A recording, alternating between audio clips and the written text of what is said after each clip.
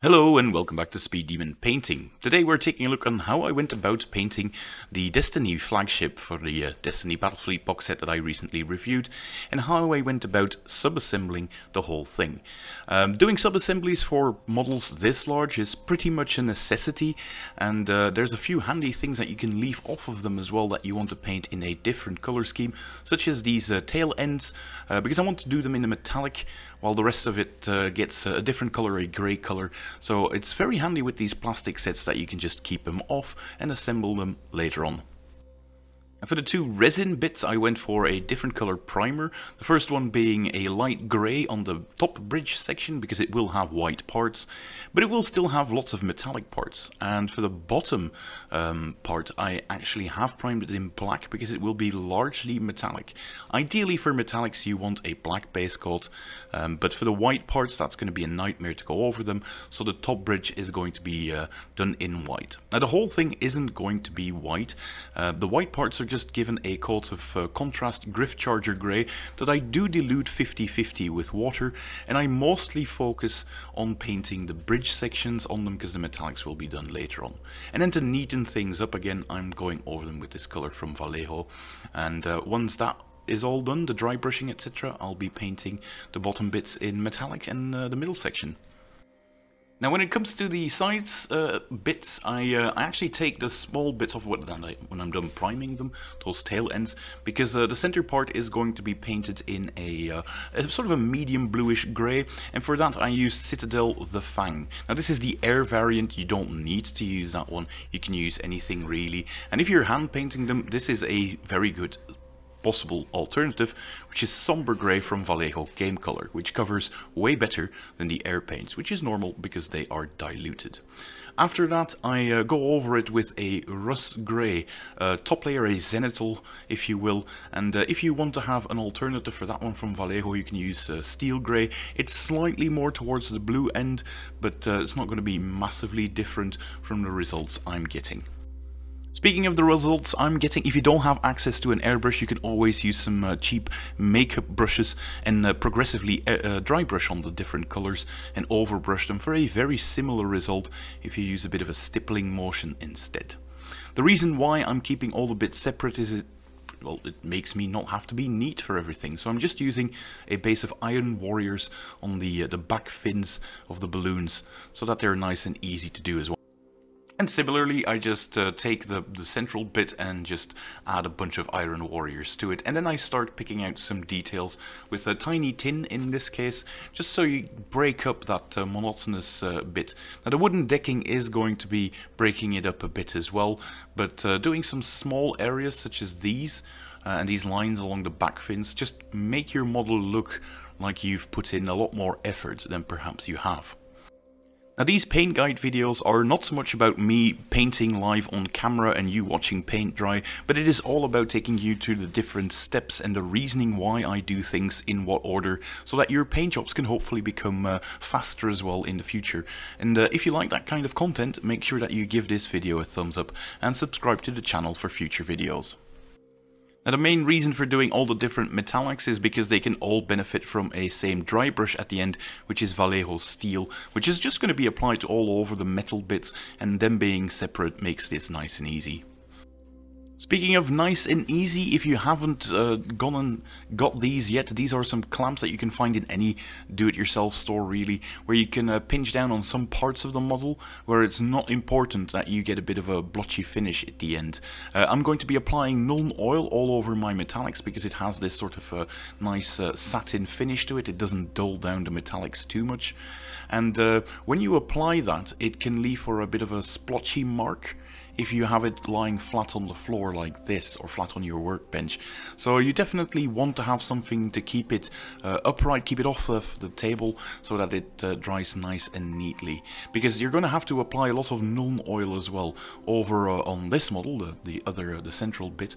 But I do that after I've painted the brown for, uh, for the runway, which is Saddle Brown by Vallejo Game Color. I went for a bit of a reddish brown because that is uh, something I always associate with the United States it's that typical red-brown wood colour. Now there are a lot of small patches that need to be done and the bad news is you are going to have to do two coats of this brown because uh, painting over metallics is always a nightmare. The, the shimmer always comes through if you don't. And uh, yeah, two coats, lots of patience. You're down to the, the difficult bit of painting a model because uh, this is what happens if you only do a single passing of that paint on there. There's going to be areas where the paint is slightly more runny and you just don't get nice and neat coverage. So second coat, definitely needed for these.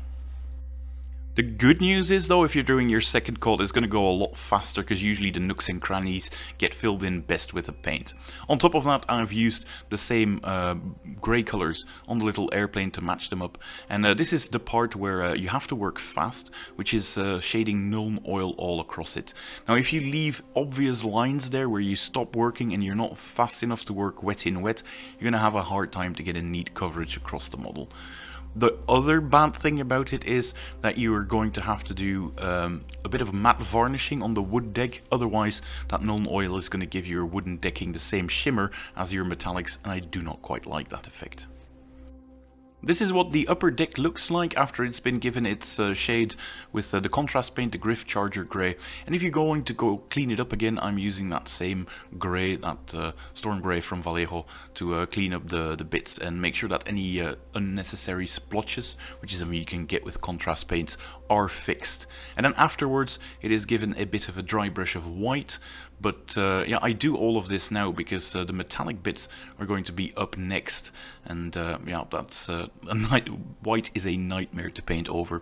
Make sure that you do try to be as neat as possible because fixing this white color is going to be tricky.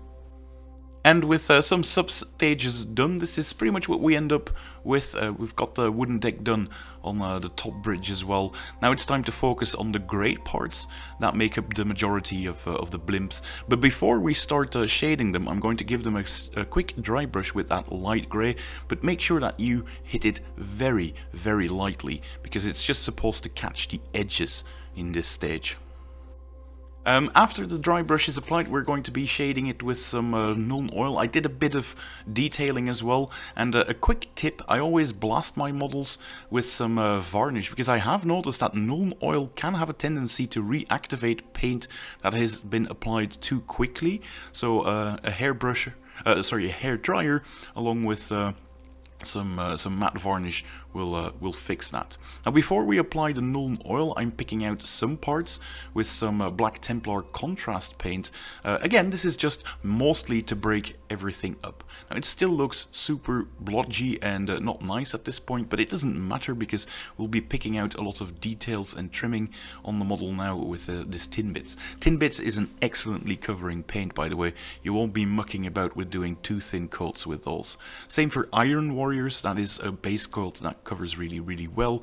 Uh, this Brassy Brass is one that I really love, but that one does require two or three coats before you get a neat covering effect and full opacity. And because some of these metallic paints cover this well, um, it uh, is a lot less tedious than you would think uh, applying all of these on there. And they also have been given a coat of Nuln oil. Now one small detail I did is add a bit of fiery effect with some uh, red, oranges and yellows into the center of it uh, to sort of make it look like it's an engine that uses up quite a lot of fuel. And of course I've repeated it twice over. Uh, don't bother painting the broadsides on one side because we'll be gluing those parts together along with the decking. But again, the decking surprisingly took a lot longer because it is poorly covering paint over uh, metallics. And I'll also be painting the windows of uh, the bridge parts and to do this I'll be using a bit of white ink that I will then be covering with this contrast Aethermatic blue for a very quick and easy effect for uh, lighting up, uh, or a light blue light if you will. Um, you do want to use that white ink first otherwise that uh, contrast paint is going to look absolutely messy. And uh, I'm going to be doing that as well on all of the bridge parts but before we start doing the windows it is now a, uh, a third slightly more tedious step and that is picking out all of the metallics in the middle there so that the, the white parts really do pop and aren't used too much on the model. If you want to create nice balanced color schemes, some colors really do not require a lot of surface area to be an integral part of your color scheme. Whites, yellows, oranges do not need to be all in your face across the model for them to really pop. And the final bit is of course washing all of those metallics with uh, the Nuln oil like I have been doing all the time. And uh, yeah, this is pretty much uh, what we end up with. And there we have it, that is the complete model finished. I'll uh, leave you with uh, this uh, still shot that I took of it, and uh, I really liked painting this model. It was nice and easy to do, but yeah, again, you really do want to go for sub-assemblies on a task this big, because otherwise it will be very tricky to do. Now up next I'll be discussing the different rules for the aerial units for the Union, because uh, this model doesn't only look good, it is also pretty damn awesome on the tabletop as well. So I hope to see you in that next video when that time comes. Until then, Bye.